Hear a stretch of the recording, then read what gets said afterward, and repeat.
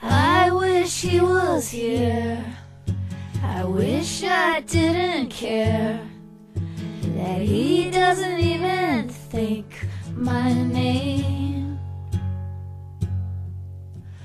All the things he said, all the promises are so easily forgotten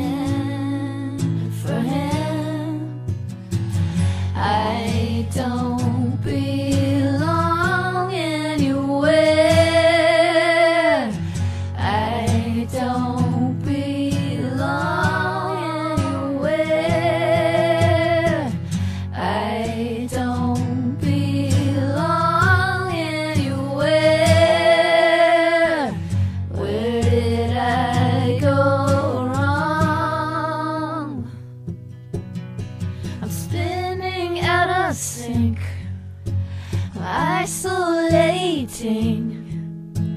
hitting the wall and falling. Please touch me again, or just be my friend. I can't figure